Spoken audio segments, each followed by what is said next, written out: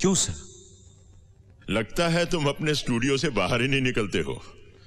आज महाराष्ट्र के हर घर में कलर टीवी और हर गाँव में डिश एंटेना है। कोने कोने में एसटीडी और आईएसटी के बूथ लगे हुए हैं। इंटरनेट है। हर आदमी के पास अपनी अपनी गाड़ी है। आज हर आदमी पाओ में जूता पहनता है, हाथ में घड़ी लगाता है एसएल वर्ल्ड जाता है मैकडोनल्ड में खाना खाता है। लोगों का स्टैंडर्ड ऑफ़ लिविंग इतना ऊँचा हो गया है। और मैं दावे से कह सकता हूँ कि पिछले पंद्रह सालों में एक भी आदमी भूखमरी से नहीं मरा। कोई किसान मैकडोनल्ड का बर्गर तो क्या दो वक्त की रोटी नहीं खा पाता? कोई मजदूर कार में नहीं घूमता, बल्कि कड़ी धूप में पत्थरों पर अपनी एड़ियाँ रगड़ता है। अमीर और अमीर होता जा रहा और गरीब सड़क पर आ गया है। दुनिया का सबसे बड़ा स्लम हमारे शहर में है, सर। लोग आज भी ट्रेनों और बसों में जानवरों की तरह धक्के खाते हैं।